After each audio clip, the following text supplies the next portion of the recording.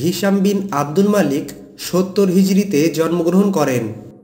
তার ভাই Yazid bin Abdul মালিকের পর তিনি খেলাফতের তখতে আসীন হন। মুসআব জুবাইরি বলেন, একদিন আব্দুল মালিক স্বপ্নে দেখলেন যে তিনি মসজিদের মেহরাবে চারবার পেশাব করছেন। সাইদ বিন মোসাইয়েবকে এই স্বপ্নের ব্যাখ্যা জিজ্ঞাসা করা হলে তিনি বললেন, আপনার চার পুত্র সন্তান বাদশাহ হবেন। আর হিসাম বিন আব্দুল মালিক হলেন তাদের মধ্যে সর্বশেষ বাদশাহ। হজরত হিসাম অত্যন্ত সচেতন এবং জ্ঞানবান ব্যক্তি ছিলেন। কোনো সম্পদ বৈধ পন্থায় উপার্জন করা হয়েছে কিনা, এই বিষয়ে তিনি চল্লিশ জনের সাক্ষী ছাড়া সেটা রাষ্ট্রীয় কোষাগারে অন্তর্ভুক্ত করতেন না।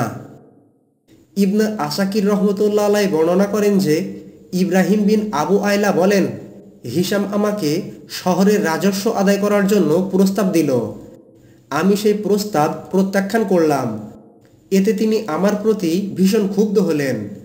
তিনি আমার দিকে রক্তিম চক্ষুদয়ের তীক্ষ্ণ দৃষ্টি নিক্ষেপ করে বললেন, তোমার যা খুশি করবে। ইব্রাহিম বিন আবু আয়লা বলেন, আমি সাথে সাথে আর কোনো উত্তর দিলাম না।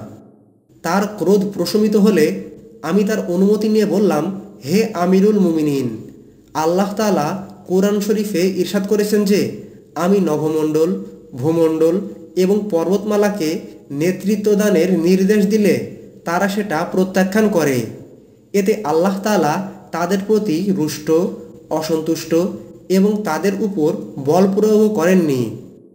আর আমি শহরের রাজস্ব আদায়ের প্রস্তাব প্রত্যাখ্যান করাই আপনি কেন আমার প্রতি বিরক্ত ও মনক্ষুণ্ণ হবেন? এই কথা শুনে হিসাম বিন আব্দুল মালিক হেসে উঠলেন এবং তিনি আমাকে ক্ষমা করে দিলেন। খালেদ বিন সাফওয়ান বলেন যে, একদিন আমি হিসামের অতিথি হলাম। তিনি আমার কাছে গল্প শুনতে চাইলেন। আমি তাকে গল্প বললাম যে, একজন বাদশাহ নগর ভ্রমণের সময় একটি প্রাসাদের দিকে আঙুল উঁচু করে বললেন, এই প্রাসাদটি কার? বাদশার সহচরগণ বললেন এই প্রাসাদটি সুলতানের। তিনি আবার জিজ্ঞাসা করলেন, আমার নিকট যতটুকু সম্পদ রয়েছে, পৃথিবীর কোনো বাদশার কাছে কি কোনো সময়ে সেই সম্পদ ছিল? তখন প্রাচীন যুগের একজন বৃদ্ধ আলেমেদিন বললেন, আগে আমার কয়েকটি প্রশ্নের উত্তর দিলে আমি আপনার প্রশ্নের জবাব দেব। তখন বাদশাহ বললেন, বলুন। তখন সেই বৃদ্ধ আলেম ব্যক্তি বললেন, আপনার কাছে যেই পরিমাণ সম্পদ রয়েছে তা কি আগের চেয়ে হ্রাস পায়নি? এই সম্পদ কি আপনি উত্তরাধিকার সূত্রে পাননি? আর আপনার স্থলাভিষিক্ত কোনো ব্যক্তি কি এই সম্পদ উত্তরাধিকার সূত্রে পাবে না? বৃদ্ধ আলেম ব্যক্তির প্রশ্নে বাদশাহ বললেন যে, আপনার তিনটি প্রশ্নই যথার্থ। তখন সেই বৃদ্ধ আলেম ব্যক্তি বললেন, এই সম্পদের মোহই আপনাকে অন্ধ করে দিয়েছে। যেই সম্পদ ক্ষয়শীল, যেই সম্পদের একটি উল্লেখযোগ্য অংশ অন্য ব্যক্তির হস্তগত হবে এবং যেই সম্পদ ব্যয় করেছেন তার হিসাব হবে। বৃদ্ধ আলেমের এই কথা শুনে বাদশাহ শিহরিত হয়ে উঠলেন এবং বললেন, আমি আমার উত্তর পেয়ে গেছি। তখন বৃদ্ধ আলেম ব্যক্তি বললেন, বাদশাহী করতে চাইলে আল্লাহ তালার অনুসরণ করুন, অন্যথায় তা বর্জন করতে হবে। বাদশাহ এই বিষয় নিয়ে সারা রাত চিন্তাভাবনা করলেন। এরপর সকাল হলে বাদশাহ সেই বৃদ্ধ আলেম ব্যক্তিকে বললেন, আমি বাদশাহী ছেড়ে মরুবিয়াবানে চলে যাওয়ার সিদ্ধান্ত নিয়েছি। আপনি আমার সঙ্গে থাকলে আমি খুশি হব এরপর তারা মৃত্যু পর্যন্ত এক পাহাড়ের পাদদেশে অবস্থান করেন।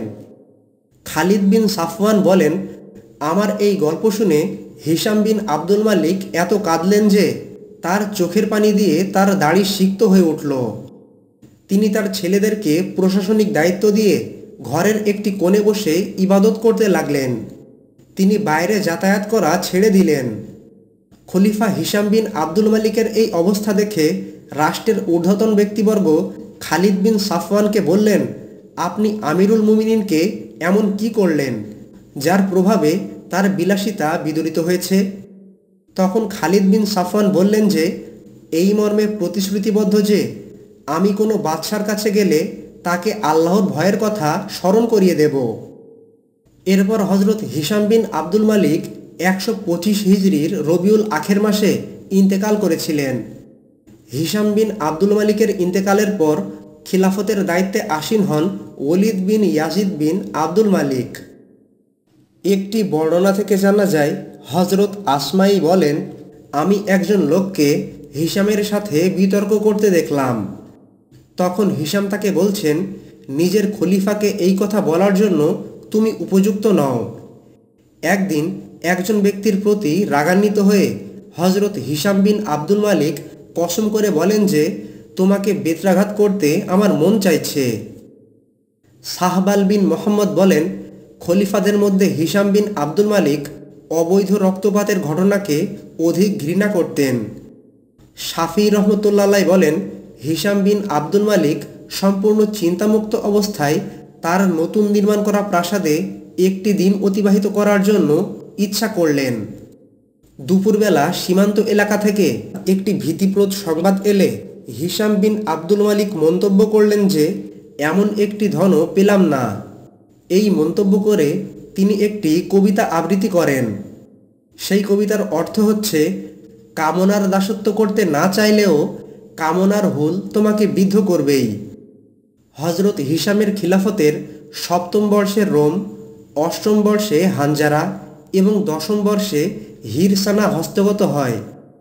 হিসাম বিন আব্দুল মালিকের শাসন আমলে সালেম বিন আবদুল্লাহ বিন উমর, তাউস, সুলাইমান বিন ইয়াসার, ইবনে আব্বাসের গোলাম ইকরামা, কাসেম বিন মোহাম্মদ বিন আবু বকর সিদ্দিক, সামরিক কবি কাসির মোহাম্মদ বিন কাব আল কারজি হাসান বসরি, মোহাম্মদ বিন সিরিন আবুল তুফায়েল, আমর বিন ওয়াসালা, জারির, ফিরজোক, মোয়াবিয়া বিন কির্তা, মাকহুল, আতার বিন আবু রিবাহ, আবু জাফর ওহাব বিন মানবাহ, সাকিনা বিনতে হোসাইন, কাতাদা, ইবনে উমরের গোলাম নাফে, সিরিয়ার বিখ্যাত শিক্ষক ইবনে আমের মক্কা শরীফের সম্মানিত শিক্ষক ইবনে কাসির, সাবেদ আল বানানি মালেক বিন দিনার, ইবনে মহিস, ইবনে শিহাব জহরি প্রমুখ মনীষীগণ ইন্তেকাল করেন। হজরত হিসাম বিন আব্দুল মালিক একশো পঁচিশ হিজড়ির রবিউল আখির মাসে ইন্তেকাল করেন। হজরত হিসাম বিন আব্দুল মালিক আল্লাহ তালার একজন বড় অলি ছিলেন। হজরত হিসাম বিন আব্দুল মালিকের জীবন কাহিনী সম্পর্কে জেনে আশা করি আপনারা অনেক উপকৃত হয়েছেন। আল্লাহ তালা আমাদের সকলকে নবীজির আদর্শ অনুসরণ করার তৌফিক দান করুন। আমিন। আসসালামু আলাইকুম ওয়ারহমতুল্লাহি ওবরাকাতুহ